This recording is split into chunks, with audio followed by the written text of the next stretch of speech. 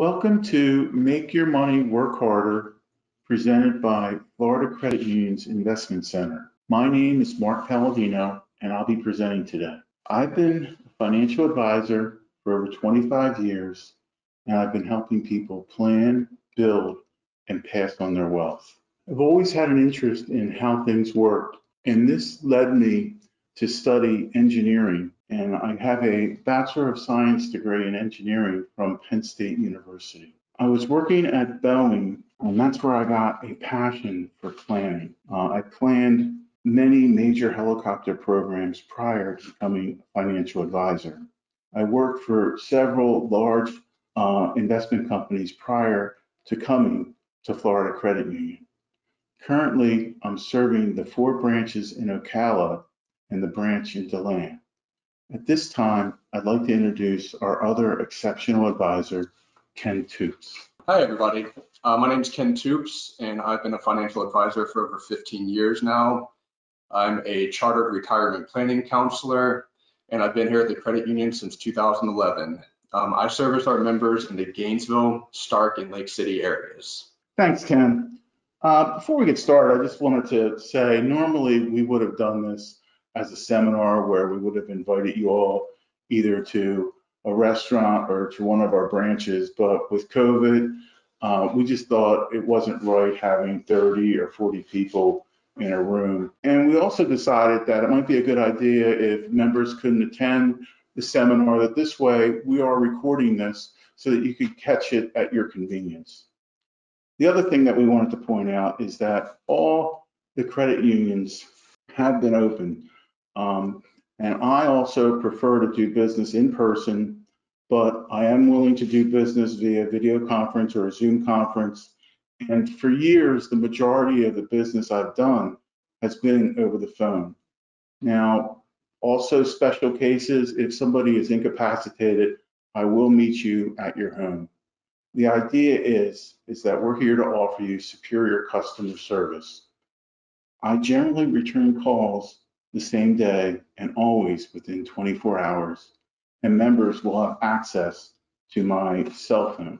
This is our legal disclosure slide. Florida Credit Union has chosen CUSO Financial Services to deliver investment solutions for their members. We offer a wide range of non-proprietary products, and I'll talk about this more in detail a little bit later.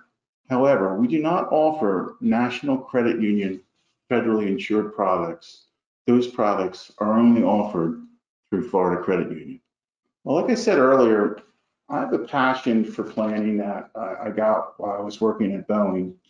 And the majority of this webinar is going to be talking about how to create a successful retirement plan. I'm going to use the acronym PLAN, P-L-A-N.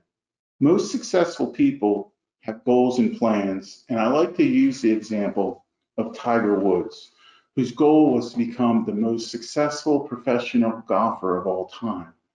And he couldn't have achieved that goal unless he and his father, Earl, had developed a plan to do that.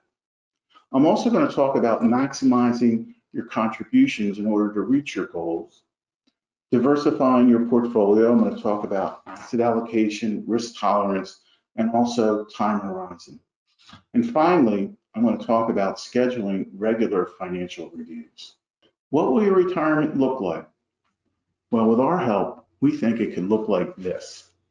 You know, picture yourself driving a convertible with the top down, or maybe perhaps walking on the beach with a significant other, or maybe even playing cards with friends and, and perhaps family members. Or maybe it looks like this. Maybe you're fishing with a friend or driving a boat the biggest hurdle in doing any or all of these things is having enough money to do it. The goal of this seminar is going to be is, is going to be to show you how to save enough money to do all the things you want to do in retirement. I said earlier about creating a plan, and essentially, like I said, the acronym PLAN are the steps to achieve your goals. So the P in plan stands for pay yourself first. We recommend that you have to promise yourself to take advantage of your employer's retirement plan, whether it's a 401k, uh, 403b, or any other type of contributionary plan. Like I was saying earlier, you want to promise to pay yourself first with these plans because it's like getting free money from your employer. Or you could also look at it where if you're getting 50 cents on the dollar, that's like getting a 50% return. The other thing that you want to look at is that you won't even miss the money because it's coming out pre-tax, it's coming out before taxes. I know that when I contributed, I, it might have only affected my, my, my, my pay period check by 50 or 100 dollars, which is money that I would have spent on coffee at Starbucks or Wawa or going out to lunch at work. The other thing is, is if you do contribute a large amount of money, it could save money on taxes. So like I said, since it comes out pre-tax, it could actually lower your bracket. Now, the other financial thing that you're doing here is dollar cost averaging. And the reason why that's important is that no one can pick tops and bottoms of the market. So the idea is, is that you're going to get the average price and even getting the average price is going to be better than trying to time the market because no one can time the market. The other financial concept that we're doing is you're taking advantage of the time value of money. Rather than waiting until you get a large sum of money to invest, the dollar that you put in today can grow to five, 10, 15, maybe even $20, 10, 20, 30 years from now. The Ellen plan is for live within your means. The picture here of cutting up a credit card, in my opinion, is the last resort. People need access to credit. If you want to rent a car or go on vacation and stay in a hotel room, you need to have a credit card. However, if you can't control your credit card spending without doing this, then by all means, I recommend doing it. I like the idea of having your credit card in a block of ice or better yet, maybe in a jail cell, and you don't get to use it until the balance is paid off. Live within your means. You have to have financial fitness or you have to have a commitment. It's very similar to going to a gym where you can't just go to a gym once a month and expect to get into shape. I mean, I personally try to go to the gym at least two to three times a week. And you have to be disciplined and have self-control. And that also you know, applies to the to, to eating right. I mean, you just can't eat whatever you want. Mean, you just can't buy whatever you want. You have to use discipline and self-control. And when you meet with me, one of the things that I will work with you on is an income planning worksheet. And that'll help you, it'll show you where your money's going and you'll you'll see where you're wasting money or where you could possibly save more money to benefit you in retirement. Now, what you want to do is you want to promise to pay off your credit cards. Credit card debt, it's the number one reason why people can't get ahead. The average credit card holder has around a $6,500 balance and pays 10% interest or more. So conservatively, that would be $650 a year or $55 a month that you're paying the credit card company that can go towards your retirement. Now, I realize some of you are saying, well, Mark, I wish I had $6,500 of credit card debt. I have 10,000 or $15,000 worth of debt. Well, the idea is, is that we realize you can't do it all at once. The idea is when you eat an elephant, you're not going to eat an elephant at one sitting. You're going to eat an elephant one bite at a time. So depending on how much credit card debt that you have, it might take six months. It might take a year. It might take a year and a half. And the way I recommend going about this is start by paying off your high interest rate debt first. And then ultimately, when you pay your credit card off, you'd be paying yourself instead of the credit card company. The A AIM plan is to assure your, your family stability. Estate planning is not only for the rich, it benefits everybody. Everybody should have an estate plan as well as a retirement plan. So what's the best way to assure your family stability against catastrophic loss? In my opinion, the best way to do that is with life insurance. Probably the most catastrophic thing that could happen would be the untimely passing or death of one of the family's breadwinners. So if we go back to the previous slide where if you had your credit card debt paid off, that $55 a month could fund two $250,000 20-year term policies.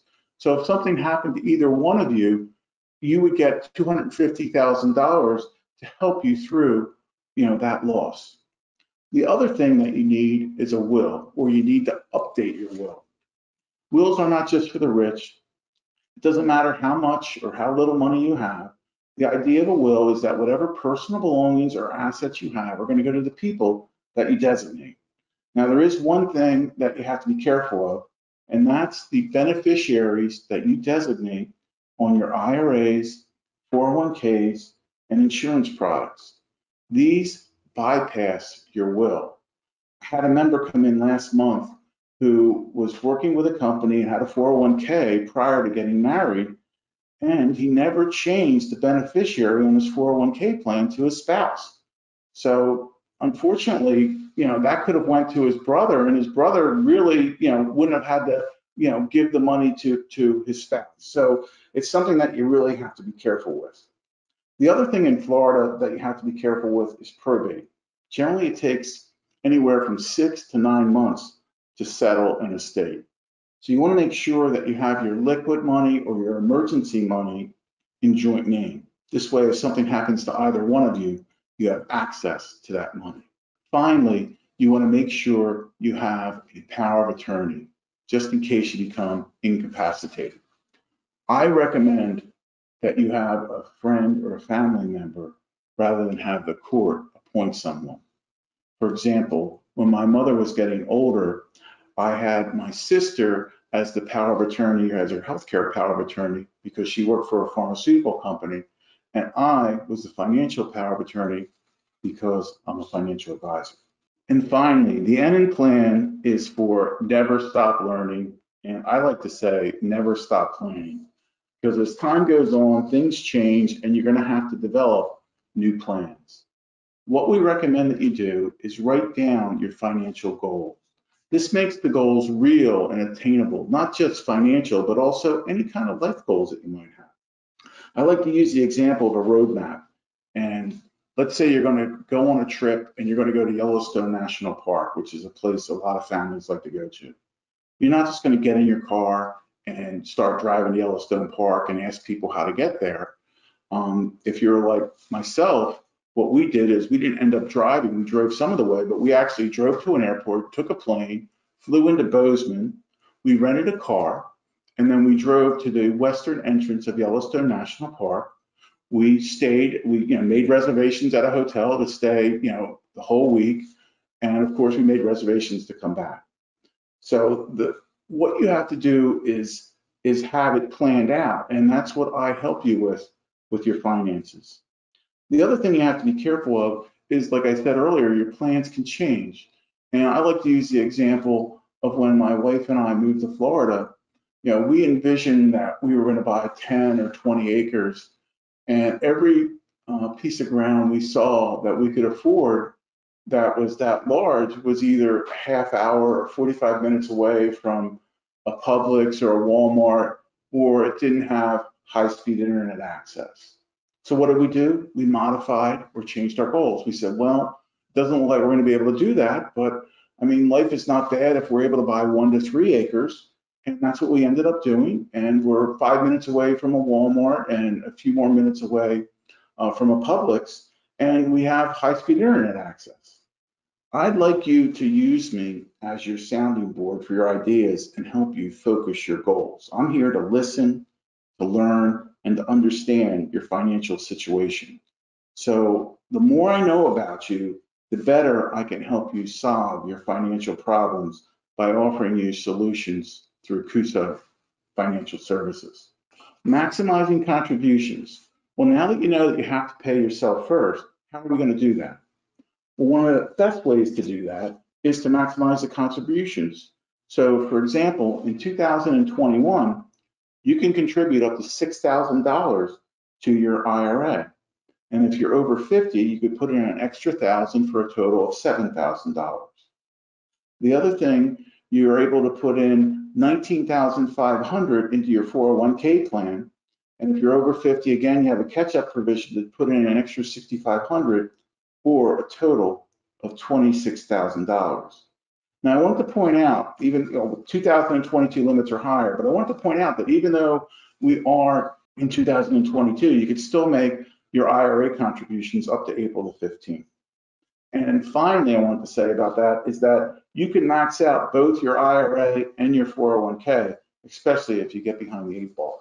At this time, I wanted to point out some of the differences between a traditional IRA and a Roth IRA. A traditional IRA, like I mentioned earlier, the money comes out pre-tax. So that's why you don't notice the, that your paycheck isn't going down that much. And the whole idea or concept behind it is assume that you're in the 30% bracket now while you're working. And when you retire, you're, you know, you're going to lose that income and your tax bracket, let's say is going to drop from the 30% down to the 15% or 10%.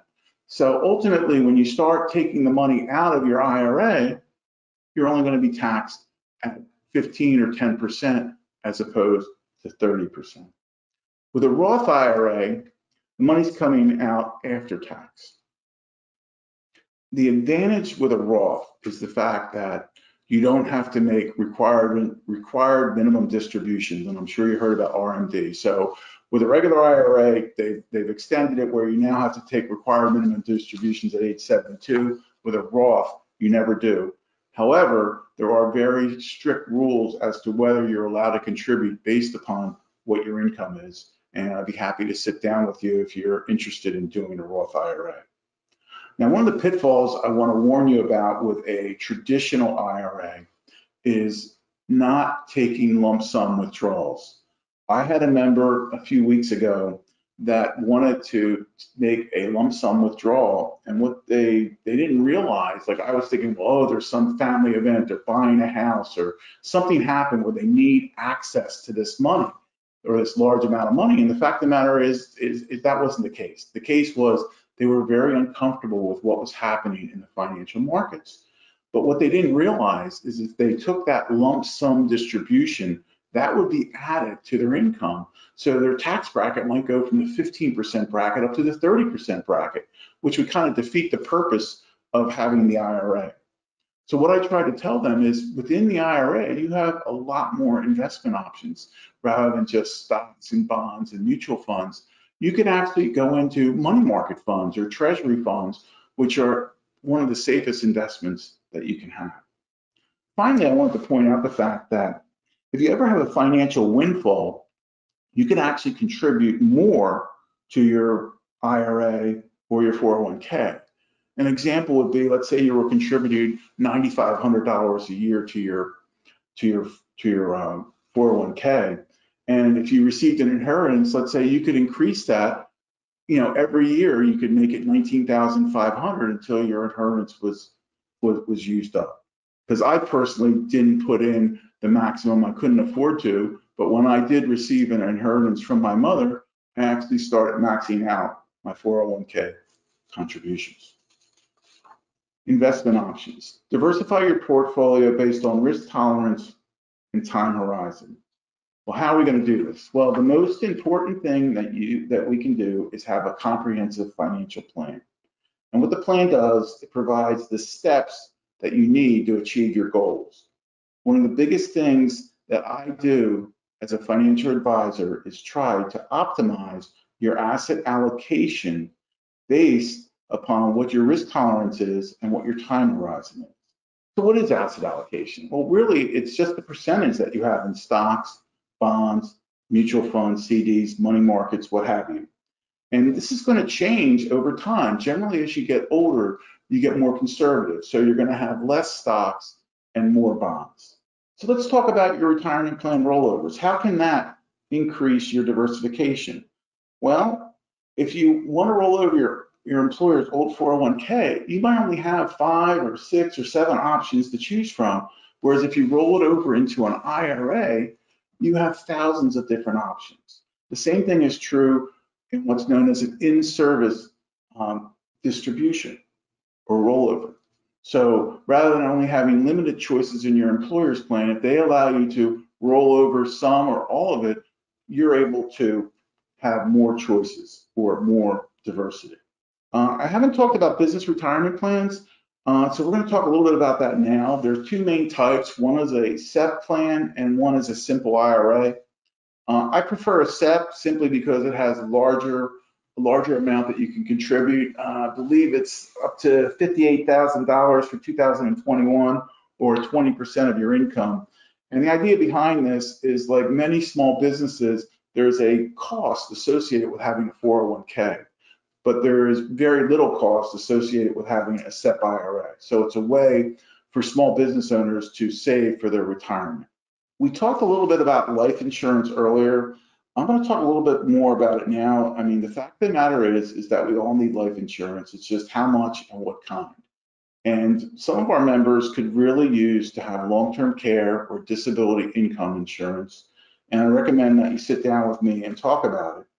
Uh, an example I'd like to use is actually something different, which would be for auto insurance. And you know, everybody realizes how much they need auto insurance. And when I was reviewing or doing a financial plan for one of our members about a month ago, and I was, you know, one of the things I do is I'll review your auto policy for you too. And when I was looking at her auto policy, I realized that she only had $50,000 worth of liability coverage. And if you're ever driving around Ocala or driving around Gainesville, I'm sure you've seen the signs for attorneys that said, oh, I got this person a $700,000 settlement or a $500,000 settlement. The only thing that they don't say is who does that money come from? And that could come from somebody like you who might have made a simple mistake driving and now someone can't work for the rest of their life. And if you were to get a settlement against you or a judgment against you, I should say, for $500,000, for most of our members, you know, you would lose your home, you would lose your life savings. But the good news is there's a way to stop that. And it's simply by increasing your auto insurance and having something called an umbrella policy. And for as little as around $350 a year, you could purchase a million dollars of an umbrella policy. So God forbid you wouldn't lose everything that you have. Retirement income strategies. Well, your strategies change when you retire. When you're when you're not retired, you're mainly looking for growth. When you do retire, the idea is, or when you're approaching retirement too, the idea is, is you're trying to maximize your income and minimize your risk. So you want to try to live off your investment income or, or touch as little of the principal as you can so you don't end up running out of money. The other thing you have to remember is that we try to do this in the most tax efficient manner. And the example I like to use is looking at two different investments. Let's say a tax-free municipal bond that's paying 4% or a taxable corporate mutual fund that's paying 5%. Now, depending on your tax bracket, the taxable equivalent yield of 4% might actually be five and a half or 6%, which is certainly better than 5%. Your investment options. We've listed here the four basic types of investment options uh, speculative, growth, income, and asset protection. Now, most of our members, their risk tolerance is usually between growth and income or income and asset allocation or asset protection, pardon me. However, even though you might have a growth and income risk tolerance, you still need some of the speculative investments. Now, not a great deal, but some. You should have some real estate, maybe two or 3%. And if we look at what's happened over the last two years, I mean, real estate has performed 20, 30, 40% or more. You also might want to consider having some commodities or some junk bonds, not a large percentage, but a small percentage. And what this does, this gives you additional yield into your portfolio, additional return, and it also helps reduce the risk. Granted, probably most of your positions are going to be in blue chip type stocks or really mutual funds to get the diversification, some mid cap, large cap stocks, maybe even some global and international type things. We're also going to have investment grade corporate bonds and investment grade municipal bonds with maybe some government bonds like Ginnie Maes. Uh, and finally, we're going to use asset protection type things such as CDs, insured deposit accounts, and of course, money markets. Working with a financial professional. Well, why is it important? Well, studies have shown that an advisor can increase your average yearly return by 3% or more. All right, I said we're going to talk about regular financial reviews, but before we do that, I think the most important thing you have to do is you want to find the right investment advisor. Uh, I recommend that you want to find an advisor that's a fiduciary. So what is a fiduciary? A fiduciary acts in your best interest. So for example, Ken and I are fiduciaries. We're registered investment advisors, uh, Series 65 licensed with FINRA, which is the Financial Industry Regulatory Authority, which is overseen by the SEC, which is the Securities and Exchange Commission. Now, like I said earlier, I like to take a holistic approach, meaning I, like, I want to I want to try to find out as much as I can about you in order to make the best financial decisions for you. You could also consider me like a, a financial quarterback. So, for instance, I'm not the one picking out the individual stocks and bonds, but I know that this is the best mutual fund. And I also have Cuso Financial's help where they vet the, the mutual fund and then I vet it additionally. Now, remember when I said about I'm going to talk a little bit more about non-proprietary solutions? Well, the idea is, is that we don't use any CUSO specific funds and we're picking the best funds out there. I like to use the example of when I hurt my shoulder, I guess around 10 years ago or more. And when I, my family doctor said, well, I want you to go see an orthopedic surgeon and, you know, see what he has to say. And of course, he took x-rays and the first thing out of his mouth was, oh, you need surgery.